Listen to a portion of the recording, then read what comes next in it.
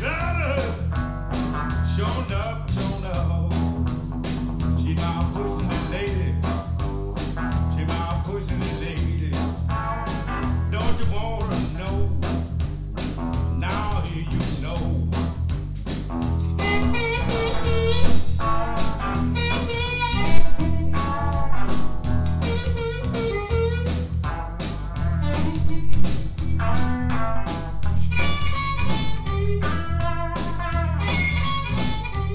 That was my six year old's Teddy, imaginatively called Ted, rocking out to Carrie Bell and Sweet Little Woman. Welcome to a British Audiophile and this episode in which I'm going to talk about my experiences of living with the Chord Mojo over the last 12 months. I'm going to focus on how it compares with other DACs, the Chord Hugo, DACs from Audiolab, Hegel, and a very inexpensive FiiO Taishan. Now, chord DACs are raved about in audiophile circles in terms of producing class leading quality, and that's attributed to the FPGA technology inside their DACs. So, what's all the fuss about? Now, in order to explain the benefits of FPGA technology, I need to get into a little bit of detail about sampling theory and the problems associated with analog to digital and digital to analog conversion. Now, for you technophobes out there, don't worry, I'll try and keep this as simple as I possibly can. So, music by its very nature is analog, it's a waveform or a series of waveforms. And in the studio, an analog to digital converter converts that analog waveform into a digital signal by a process called quantization and sampling. So, what is quantization and what is sampling? Quantization is assigning a value to the level of the music, and sampling is how often you take that value. Now, it goes without saying that the more values you have available, the more accurately you can describe the signal, and the more often you take that sample, again, in theory, the more accurately you'll be able to describe that signal. The number of quantization steps or levels available relates to the bit depth. Now, 16 bits, which is CD quality, relates to about 65,000 levels. 24 bits is approximately 16 million, and 32 bits is approximately 4 billion. So you can see as you increase the bit depth how dramatically the resolution improves. Well, that's quantization. What about sampling?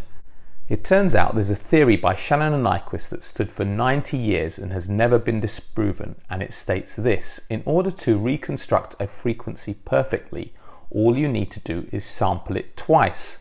Now, the highest frequency that we need to sample is 20,000 hertz. That's the limit of human hearing if you're lucky. And therefore, you only need a sampling frequency of 40,000 hertz. Well, CDs produce a sampling frequency of 44.1, so they're more than adequate. So what's the point of sample rates in excess of 44.1 kilohertz? You'll see high resolution formats with sample rates of up to 192 kilohertz. I think I've got one recording with a sample rate of 384 kilohertz. Now it's true, you don't need that level of sample rate to reconstruct audio frequencies. It's all to do with the time interval between one sample and the next. 44.1 kilohertz relates to a time interval between samples of 22 microseconds, and that isn't enough. Our human ear can detect differences in time intervals of 4 to 5 microseconds. So if you increase the sample rate, you're more accurately able to record timing information. Now that's really important because it turns out that that accurate timing information relates to our perception of pitch, timbre, our ability to define leading transients in notes, spatial cues in terms of being able to place instruments in a soundstage, whether it be left or right, forward or backwards. These are all things you want to preserve very accurately in a highly resolving system. The great benefit, therefore, of high resolution formats is predominantly not just the increased resolution, but the preservation of timing information which relates to timbre and pitch. Now, there's other benefits of high resolution formats with regards to noise shaping and filtration, but I don't want this to become a video about the virtues of high res formats. The vast majority of music out there is still CD quality, and the job of reconstructing that digital signal back into an analog uh, form falls upon your DAC, digital to analog converter. Inside every DAC is an interpolation filter. Now, the job of an interpolation filter is to take the digital signal and to reconstruct the original analog waveform. Now, it does that by oversampling and then filling in the gaps. That's the interpolation part. Theoretically, it is possible for an interpolation filter to perfectly reconstruct that analog waveform, but that isn't the case in any DAC. The reality is that in order to perfectly reconstruct that, you need something which is a sinc function, which is mathematically and theoretically possible, but in practical terms needs an infinite amount of processing power. Now, this is where Chord's FPGA technology comes into play. In conventional DACs, be it from ESS, Texas Instruments, AKM, or a number of other manufacturers, not a lot of processing power is dedicated towards the interpolation filter. They're more interested in getting the frequency response right. Timing information in those general purpose DACs is a secondary consideration. That's not true of Chord DACs, which use an FPGA. FPGA stands for Field Programmable Gate Array. They're huge DSP engine chips where you can essentially dedicate as much processing power as the designer wants. In this case, Rob Watts, who pays an awful lot of attention to that interpolation filter.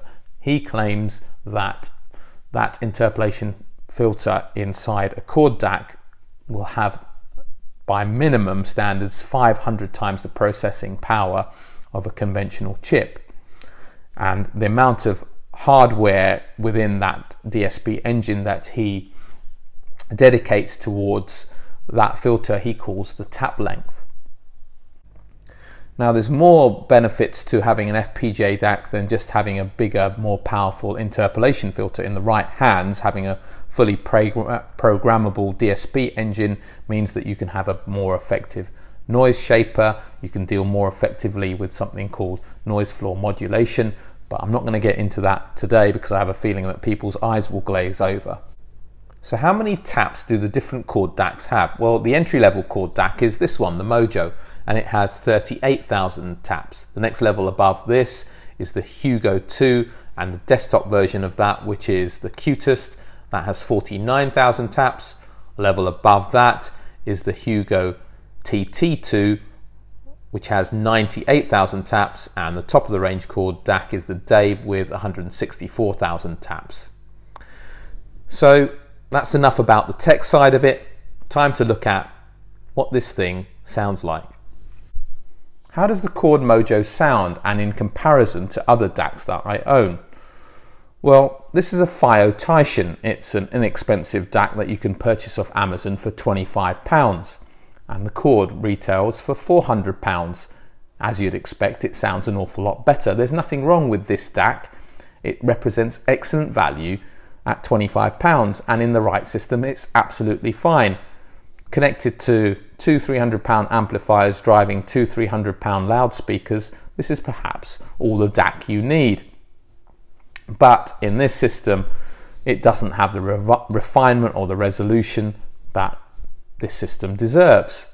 So another comparison, and perhaps a fairer one, would be with this, the Audiolab QDAC. Now this is lesser known than the Audiolab MDAC, which is essentially a very similar DAC. This is a little cheaper. Um, it retailed for £400 when they were making it. It's basically an MDAC with less connections and a slightly cheaper chip inside. So fair comparison. 400 pound DAC from four or five years ago with the Chord Mojo, which is a 400 pound DAC today. Chord Mojo is significantly better in every area in terms of resolution, in terms of timing, in terms of musicality. It's a significant improvement. Nothing wrong with this DAC, it just shows how the game has moved on in the last four or five years. So Moving up a level, I have a Hegel H160 which has an inbuilt DAC which is based on the outgoing HD11 Hegel DAC. That was a DAC that retailed for a thousand pounds. And again, how does the Mojo compare with that? Well, now you're talking about DACs at a similar level. So it just shows how good this Chord Mojo is if it's able to compete with DACs from two, three years ago that were a thousand pounds. The Hegel has slightly faster, cleaner sound. The Mojo is a little bit larger sounding, a bit fuller, richer sounding, and it's a question of personal preference which one you prefer the Hegel over the Mojo. One of the most interesting comparisons is how the Mojo compares with the Hugo. Now I'm talking about the Hugo 1, not the Hugo 2.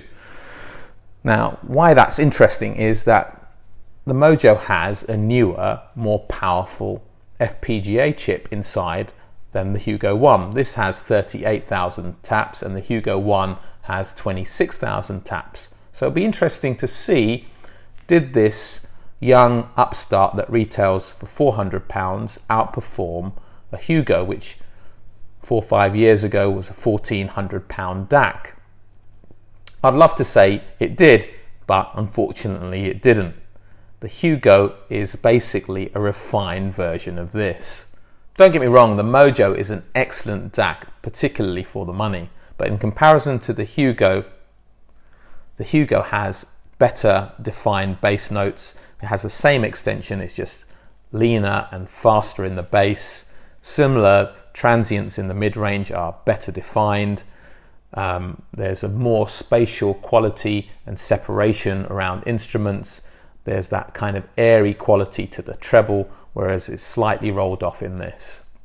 It just goes to show there's more to a DAC than the chip inside, even an FPGA chip. So am I saying that Mojo owners should go and rush out and buy a Chord Hugo 2? Can't buy Hugo 1 anymore. Well, that depends on the resolution of your system, and I think you need something at a minimum level of say a KEF LS50 or B&W 700 series, those are quite common brands, something at that level, preferably something better, ATCs, ProAc, PMCs, driven by a very good quality mid-range integrated amp. Now what do I mean by that? I mean something like a Naim XS2, 1500 pounds worth of Arcam, Rega, um, or equivalent dedicated amplifiers to be able to tell the difference. Otherwise, you're better off spending your money upgrading your amplifier or upgrading your speakers. So hopefully you found this review useful, gained something from it. Please like, share, subscribe. But for today, for now, a British Audiophile signing off.